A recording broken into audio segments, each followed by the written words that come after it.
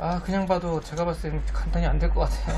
지금 딱 봐도 뭔가 느낌이 하는데요. 뭐가 안 되세요? 인게임 그러니까 게임할 때 아 게임할 때 문제세요? 예, 이게 다운이 그냥 바로 되고 재부팅 무한 재부팅이 되긴 하는데 이게 처음에는 게임만 되다가 네. 이제 뭐 유튜브나 뭐 이런 네. 그쪽으로 갔을 때 영상 재생만 돼도 이게 갑자기 다운 되다가 또 이제 온도 문제가 싶어가지고 좀 방을 좀 차게 좀 에어컨 틀거나 그러면은 또 네. 되다가 안 되다가 되다가 안 되다가 약간 다운된다라는 거하고 되다 안 되다라는 걸 이제 직접적으로 딱 표현하시면 다운된다는 거는 멈춘다는 얘기세요? 아니면은 그냥 뭐 컴퓨터가 화면이 블랙으로 나갔다가 아니면 리부팅 된다는 얘기세요? 네, 어떠, 정확히 어떻게 리부팅이 되는 리부팅이 되는 거예요? 네. 뭐 해보신 거는요? 그러면 뭐 아까 댁에서 뭐 에어컨 키고 뭐 이런 거 말고 그거 시스템적으로 뭐 말고 해보신 건 없어요? 시스템은 이거 그래픽 카드가 좀 워낙 뜨거워가지고 네. 보니까 1080 Ti네요. 네, 근데 1070으로 집에 서브로 하나 있어가지고 그걸로 해봤는데 네. 그것도 좀 시간이 더 이제 그러니까 이렇게 플레이 시간이 더 길어지면은 또 마찬가지로 또 다운이 되긴 하더라고요. 리부팅. 네, 리부팅 무한 지금 화면 안 뜨네? 지금 저는 게임만 하다가 이제 점점 증상이 심해져가지고 인터넷 그 할 때만 막 그때도 같이 다운이 돼버리니까 이게 라디에이터를 가급적이면 바깥으로 불어주는 게 사실 좋은데요. 바깥쪽으로 예. 안쪽으로 돼 있는. 이- 그렇죠. 다 흡기죠, 애들은. 아, 팬도 지금 흡기로 다셨어요. 이 설치하실 때 네. 아예 흡기로 다셨기 때문에 밖으로 뿜어야 돼. 위, 아, 위에가 안 되나? 위에도 잘하면 안 돼. 메모리도 그렇고 안 되겠구나. 이 조그마한 쿨러 이런 것도 고객분이 다신 거예요? 네, 제가 그냥 여기 전원부가 하도 뜨겁다고 그래가지고 네. 찾아보고 해서 그 아, 일단은 그래픽카드에서 열이 상당히 많을 거고요. 네, 본체 안에서 막 그 열기는 그래픽카드가 제일 많이 줄 거고, 네. 라디에이터가 불어주는 게 아니라 또 흡기로 빨아들이다 보니까, 어, 이제 뜬다. 빨아들이다 보니까 본체 안은 상당히 뜨겁겠는데요.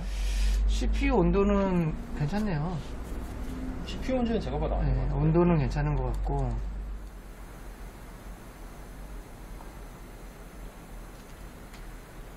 이 고주파 이 음도 갑자기 생긴 거라서 어디서요? 그래픽카드 쪽에서요? 어디서요? 지금 이 원인은 뭐 이 소음 자체가 들리실 거예요.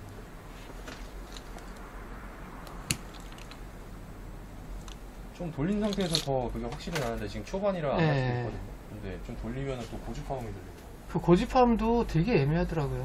power supply나 그래픽카드에서 고주파음이 보통 나는데, 네. 제조사 쪽에서는 정상이라고 인정 안 하는 경우들도 많아요. 그 자체를. 예, 고주파음. 근데 없다가 생긴 거는 그렇죠. 그거는 그러니까 저희들도 보내보는데, 물론 교환을 해주긴 해요. 근데 이제 말을 할 때, 이 고주파음 발생하는 거는 사실 교환 대상이 안 된다. 라고 얘기를 보통을 해요. 그러면서 정 원하면 리퍼로 이번에 한 번만은 바꿔주겠다. 이제 듣는 사람 입장에서는 좀 애매하고 좀 안 좋죠. 어, 문제가 있는 것 같은데, 그러니까요. 어, 정상이라 그래? 그럼, 그럼. 만약에 제가 지금 고객분 말씀을 계속 듣고 있거든요. 네. 고객분 말씀을 쭉 듣고서 제가 개인적으로 그냥 판단을 하면 네. 그래픽카드예요. 제가 봐도 네. 이거 갈아 끼웠을 때도 그게 문제가 있으니까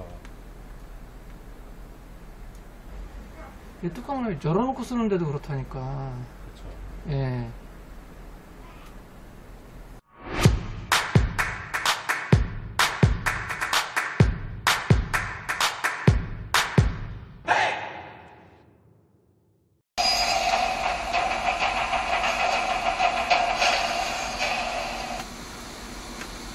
지금 현 시스템은 제가 여러 가지로 테스트를 하고 있는데요. 지금 3D 마크 파스를 돌리고 있습니다. 지금 제 테스트용 파워 물려서 지금 소음이 크게 나는 거이 조그만한 팬에서 나는 거고 여러 가지 테스트를 했을 때 3D 마크 파스만 돌리면 바로 리부팅이 됐거든요. 연속 3번. 그래서 제가 지금 파워가 의심이 돼서 지금 장착해서 지금 테스트를 하고 있고요. 음, power supply 교체 후에 파스가 정상적으로 리부팅 되지 않고 고객분께서 맡겨놓으실 때 power supply가 1000W짜리라고 했던 걸로 전 기억을 하거든요. EVGA 제품인가? 모르겠어요. 1000W라고 했는데 뭐 와트수가 중요한 게 아니죠. 제품이 이제 고장이냐 아니냐가 더 중요하니까. 자, 지금은 기존에 사용하던 파워 다시 연결했고요. 당연히 라디에이터 팬도 돌고 LED도 들어오고 하다 보니까 이제 조용해졌죠. 3D 마크 파스 다시 한번 실행을 해보도록 하겠습니다. 이 컴퓨터의 주 문제는 리부팅이거든요. 게임 중에 리부팅, 사용 중에 리부팅, 최근에는 영화 보거나 인터넷 검색할 때도 리부팅.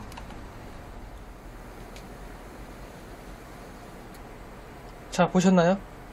이런 시스템 점검하려면 계속 옆에 붙어 있어야 됩니다. 어, 지금 증상 보셨죠? 바로 또 리부팅. 그래픽 드라이버도 새로운 버전, 다른 버전으로 다 재설치 해봤고요. 음, 다른 프로그램을 돌렸을 때도 리부팅 되거나 하는 증상이 있는지 AIDA 64부터 해서 좀 더 돌려보고 이제 최종 판단을 하도록 하겠습니다.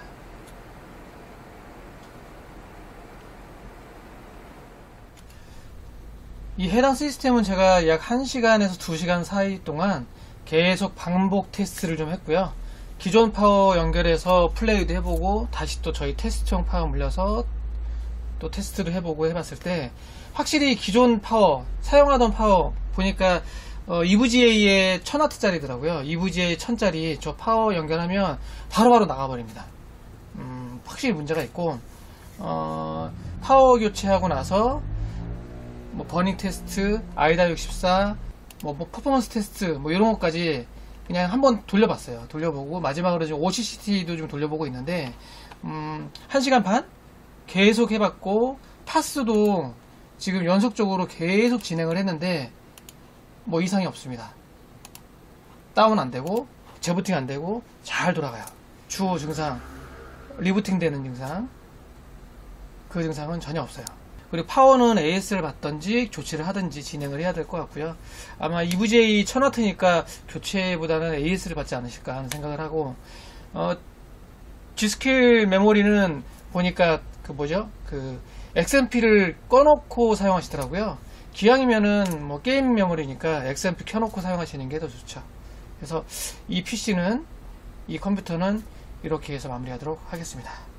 어, 정말 단순한 것 같고 아무것도 아닌 것 같은데 또 테스트하는 입장에서는 저희는 또 시간 소모가 꽤 많이 됩니다. 음, 한 하루 반나절 이상 돌려본 것 같고요. 컴퓨터가 바뀌어서 깜짝 놀라셨죠. 어, 기존 케이스는 블랙이었는데 컴퓨터가 화이트로 변신을 했습니다. 어, 고객분하고 상의를 해서 케이스 교체 작업을 했어요.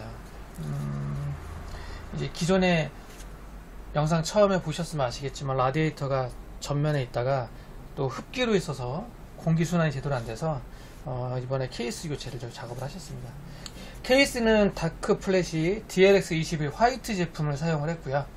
음, 이제 기존 쿨러 시스템의 Corsair 기존 쿨러를 사용을 하려다가 음, 또 몇 개만 쓰고 몇 개만 안 쓰고 허브 써야 되고 컨트롤러 써야 되고 뭐 이러기 때문에 어, 기본 DLX21의 옵션 사양인 쿨러로 사이드 두 개를 장착을 했어요. 사실 케이스 교체하고 이렇게 하다 보니까 새로운 컴퓨터를 한 대 판매해서 새로운 PC를 파는 것 같은 느낌? 뭐 그런 느낌이 들더라고요. 이게 케이스 교체 작업하고 재조립, 이거 완전 다 뜯어내서 하나하나 청소하고 재조립하기 때문에 거의 뭐 한 대 파는 것 같은 느낌이 들죠. 음, 시간도 좀 많이 걸렸고요. 그래서 이제 AS 처음부터 오늘 완료될 때까지 시간이 꽤 오래 걸렸습니다. CPU 지금 i9 9900K 사실 9900K 정도 되면 상당히 고사양의 상급 모델 중에 하나잖아요. i9 9900K에 최고 온도 시네벤시 돌렸을 때 2.0 버전으로 돌렸고요. 최고 온도가 43도 나왔어요. 어, 이것도 잘 잡히는 거죠. 사실 9900K에 시네벤시 돌렸을 때 50도가 안 나왔다면 이것도 꽤 잘 잡히는 거예요, 지금. 물론 크라켄이라는 이제 수냉 쿨러가 또 괜찮은 거라서 그럴 수도 있고요. 이 수냉 쿨러 라디에이터 팬은 보니까 140mm예요. 140mm 팬 두 개가 달려 있기 때문에 더 잘 잡아주지 않았을까 하는 생각도 듭니다. 3D 마크 파스도 한번 돌려봤고요. 파스도 오류 이상 없이 잘 끝까지 작동이 됐습니다. 영상 처음부터 보셨으면 아시겠지만 이 시스템이 파스도 제대로 돌릴 수가 없었거든요. 파스 돌리면 바로바로 리부팅 되고 툭툭 나가고 막 이랬기 때문에 지금 뭐 끝까지 잘 작동됐고요. 중요한 거는 뭐 점수보다 온도죠, 온도. 1080 Ti 최고 온도 70도 정도 되네요. 이 현 시스템은 이렇게 해서 마무리 지으려고 합니다. 어, 꺼짐 없이 잘 작동이 되고요. 케이스 교체하면서 사이드 기존 옵션 쿨러 120mm 두 개 설치했고요.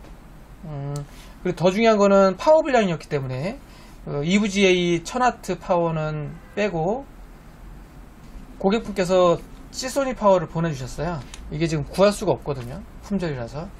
Seasonic의 GX-850 850W짜리 파워를 보내주셔서 장착을 했습니다. 조금 더 버닝 테스트 한 다음에 출고하도록 하겠습니다. 이번 영상은 여기서 마무리하겠습니다. 다음에 다음에 또 다른 영상에서 뵙도록 하겠습니다. 감사합니다.